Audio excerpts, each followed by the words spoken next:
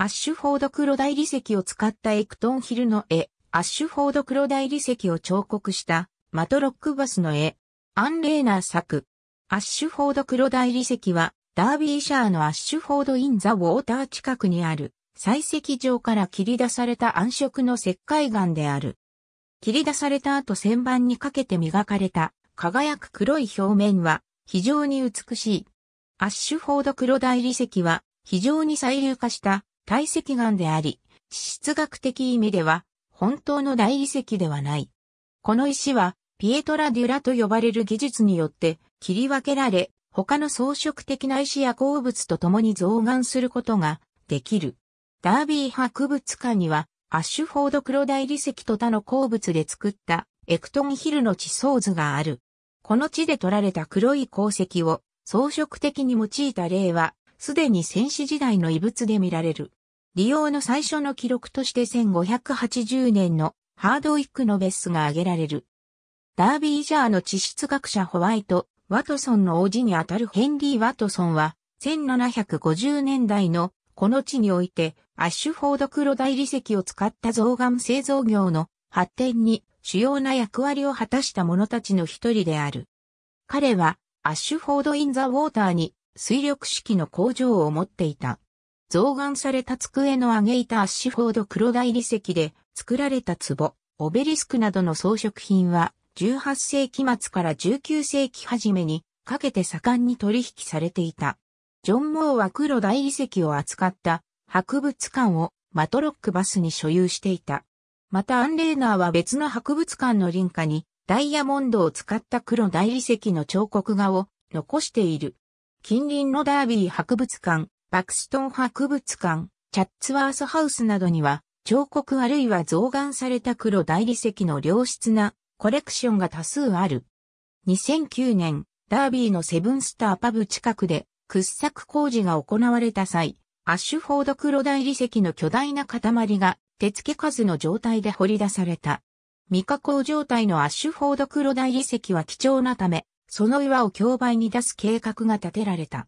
この岩は加工業者が1880年代に移転した際、遺棄されたと考えられている。この岩は大理石と呼ばれるものの完全に堆積岩由来である。暗色で、キメの細かい、泥質の石炭系石灰岩であり、成分は歴星に富んでいる。この歴星は暗灰色の色合いをもたらし、磨いて表面加工すると黒い輝きが現れる。この岩は初期にはアロック鉱山で採掘されたが、後1832年には、アッシュフォード・イン・ザ・ウォーター近くのルーケリ、農場周辺から採掘された。ウィリアム・マーチンが発見した黒大理石の中の化石。かつてはワニの尾と考えられていた。この石灰岩はろくろにかけて、壺、ろうそく立て、その他の装飾品に加工することができる。またオベリスクや文鎮のように滑らかで平らなしない切り出されることも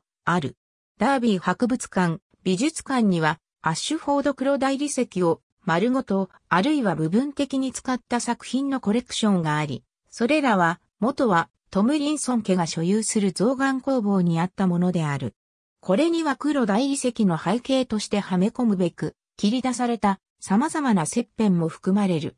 忘れなぐさやスズランのような花模様を典型的なものとして挙げることができるだろう。黒大理石の中へ増岩する色付きの石としては、まず近くのムニア種から取れる灰、青、紫の鉱石がある。シェルドンのネテラデールから取れるローズウッドは赤と白の縁模様を持つが、この重小石は絵柄に変化を添える。暗い地から取れるキャッスルトンブルージョンは紫と木のホタル石として使える。バーツアイは中の化石が模様を作り出している。最も珍しいのは、デュークスレッドであり、あまりに貴重なためチャッツワースハウスに保管された。写真で示した机の上げ板のデザインには、ここで説明した組み合わせの一部が見られる。1780年代末にダービーシャーの地質学者、ホワイト・ワトソンは、この収穫地の岩石層を表現するよう、その地の岩石をアッシュフォード黒大理石に増岩した地質学的資料とも言える名盤を作り始めた。ダービー博物館には、アッシュフォード黒大理石とその他の鉱石で作られたエクトンヒルの図表がある。かつてワトソンと働いたこともあるウィリアム・マーチンは化石に関する初めての科学的研究を表している。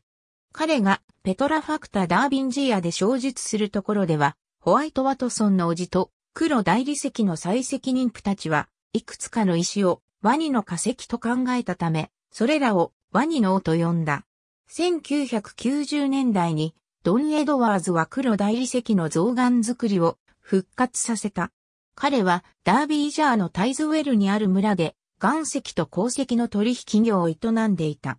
2006年にバクストン博物館はジョン・マイケル・トムリンソンが残した黒大理石のコレクションを買い取った。トムリンソンは祖先がアッシュフォード黒大理石の製造に関わっていたことを知ってから以降50年以上にわたってそれらの収集を続けていた。ありがとうございます。